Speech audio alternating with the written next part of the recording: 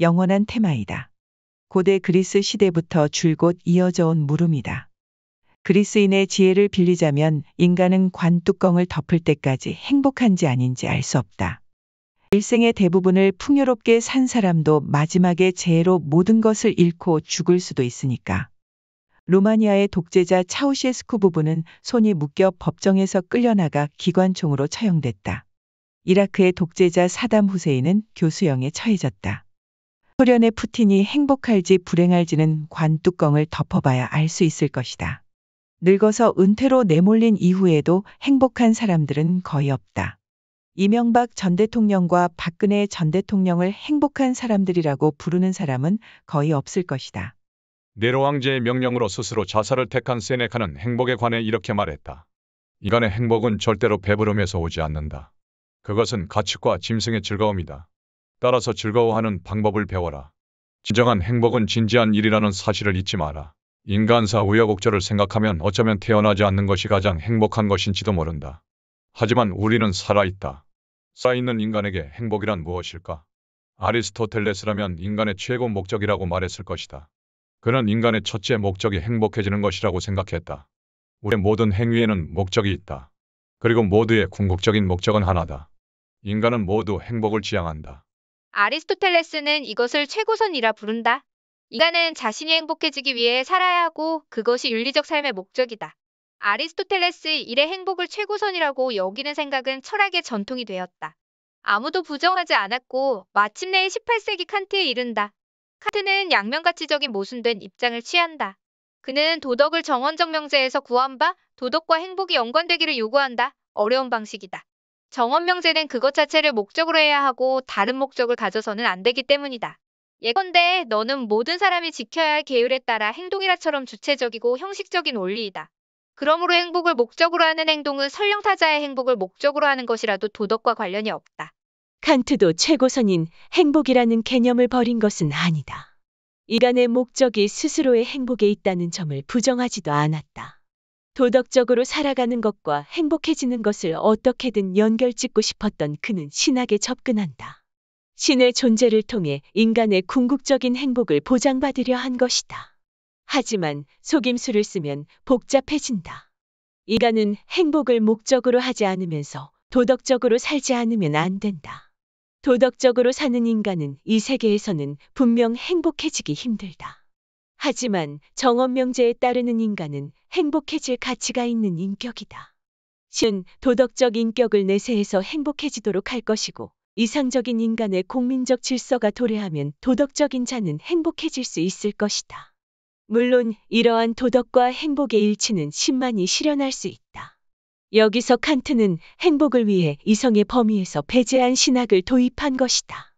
1세기가 지난 뒤 니체가 칸트의 속임수를 날카롭게 공격한다.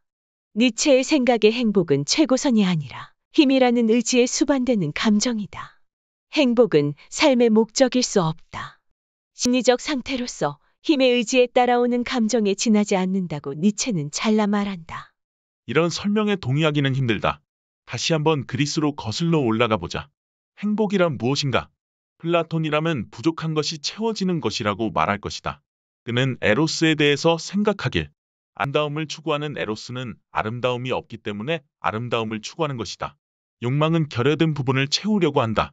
그리고 획득함으로써 행복해진다. 하지만 그러한 행복은 쉽지 않다. 결여된 부분이 있어야 행복을 채울 수 있다면 결여된 바가 없으면 행복해지지 못한단 말인가. 행복해지려면 먼저 불행해지지 않으면 안 된다는 것인가. 그리고 채워지면 정말 행복해지는 걸까. 결여된 것이 충분하게 채워지면 그 순간 바로 행복은 사라질지 모른다. 손에 닿는 것이 모두 금으로 변하여 먹을 것도 없는 미다스왕처럼 말이다. 이러한 행복의 불행을 날카롭게 간판 이가 쇼펜하우어이다. 의지만이 선한 것이라고 생각한 칸트를 비판하면서 쇼펜하우어가 생각하는 최고의 선은 행복이 아니라 그럴 의사가 생겨나지 않는 상태이다. 조금 피곤해진다. 이렇듯 행복의 역설에 빠지지 않는 행복이란 없을까? 욕망을 뭔가가 부족한 쪽이 아니라 덧붙이는 쪽으로 돌릴 수는 없는가? 프랑스어로 행복은 본으로이다. 좋은 시간이다. 즐거운 때를 보내는 것이 행복이다라는 따위의 행복 정의는 없는가? 기쁨의 감정을 넓히는 것이 선이라고 생각한 철학자가 있다. 스피노자이다. 기쁨을 늘리는 것이 선, 줄어들면 악. 그는 선은 존재자에게 긍정적인 척도에 지나지 않는다고 생각했다. 행복은 궁극적인 목적이나 최고선에 휘말리지 않아도 된다. 발차기 연습을 생각해보자. 일상생활에서는 발차기를 못하고 몰라도 된다. 못하는 것은 결여가 아니다. 하지만 어느 날 발차기를 배우자고 계획한다 치자. 처음에는 넘어지고 하이킥은 엄두도 내지 못한다. 또 엉덩방아를 찢는다. 그러나 차츰 능숙해지며 돌려차기와 뒤차기도 찰 수 있다. 180도 다리 찢기는 물론 360도 점프 뒤차기까지 할 수 있을지 모른다. 얻은 휘킥 돌려차며 회전하며 달린다. 이제 연습하는 과정 자체가 즐거워진다. 그렇다. 능력 하나를 익혀서 능숙해지는 것만으로도 사람은 행복해질 수 있다. 배고픔이나 갈증과 무관하다. 자신의 능력을 소박하게 긍정하고 그것을 누림으로써 행복을 발견한다. 물론 발차기는 작은 예이지만 말이다. 행복이란 무엇인가? 마지막으로 이제 반대로 생각해보자. 불행이란 무엇인가? 여기서 아무래도 시몬 배우를 불러보게 된다. 불행한 사상가. 확실히 시대도 나빴다. 제1차 대전에서 제2차 대전에 걸친 불행한 역사를 유대인으로 맞섰다. 더욱이 공장이나 전쟁통의 병원 등 그야말로 불행의 집합 같은 힘든 장소에 자청하여 들어가는 그런 사상적인 체질을 갖추었다고 할 수 있을 정도다.